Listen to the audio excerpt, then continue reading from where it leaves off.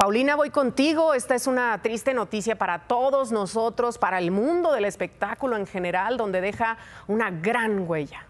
Así es, Cris. Este lunes lo iniciamos pues con una noticia muy, muy triste. Como ya decías, falleció nuestra querida Keta Labat, mamá de nuestro también querido Pablo Carrillo. Desde aquí, un abrazo fuerte para él y toda su familia.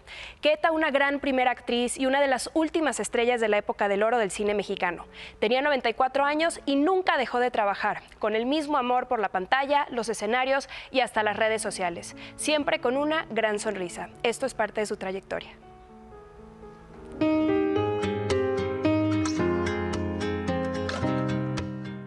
Su nombre era Enriqueta Margarita Labat Bayona, mejor conocida como Queta Labat, mexicana y de 94 años de edad. Fue actriz desde los 15 años y parte de la época de oro del cine mexicano.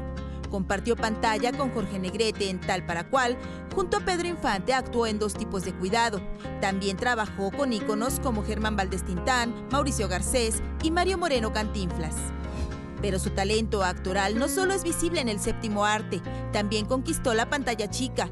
Inició en 1958 con Un Paso al Abismo, telenovela en la que participaron Silvia Derbez, Luis Beristain y Lorenzo Rodas. Continuó con Un Largo Amor, Vértigo, Angustia del Pasado, Encrucijada, entre otras. Su última telenovela fue La Usurpadora.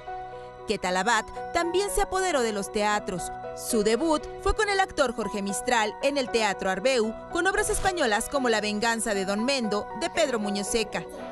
En 2018 ganó el premio a Mejor Actriz de Teatro en los Premios Bravo por su papel en Conversaciones con Mamá. Y ese mismo año también se llevó un Ariel de Oro. Este fue uno de cinco premios que reconocieron su trayectoria actoral. Su voz también forma parte de caricaturas como Heidi, en donde fue la señorita Rottenmeier, y de Los Supersónicos, en la que interpretó a la mamá de la familia futurista Ultrasónico. Ah, pensé que ibas a ir a la luna. Las nuevas generaciones también son testigos de su legado, pues Keta también fue TikToker. En la plataforma compartió recetas de comida, reflexiones y un poco de su vida diaria. Desde lo más profundo de mi corazón Muchas gracias.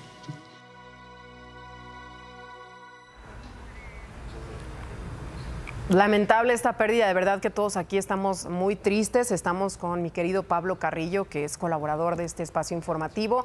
Eh, están pasando un momento difícil ahorita y platicar un poco de esta última etapa ¿no? en su carrera como TikToker, ya como influencer, le entró a las redes sociales. Yo la verdad es que no me animo todavía a entrarle bien al TikTok. Y ella, fabulosa, compartía sus recetas. Y no, bueno, encantadora. la verdad que sí, justo como decíamos ahorita, ¿no? Nunca dejó de trabajar, incluso en redes sociales, con sus recetas. Ahorita que veíamos estas imágenes de cómo está en su cocina, compartiendo cómo cocinaba eh, su día a día, la verdad es que, bueno, pues no, no puede más que sacarnos una sonrisa, eh, como lo hizo a lo largo de toda su carrera, que siempre quiso estar presente, que siempre quiso estar compartiendo con su público y pues lo hizo hasta el último momento y la verdad que, como dices tú, es un momento muy triste para todos los que conocemos a Pablo, para todos los que conocían a, a esta gran actriz y pues eh, que descanse ella en paz. Estamos con, Pablo con todo cariño. ¿Qué tal, Abad?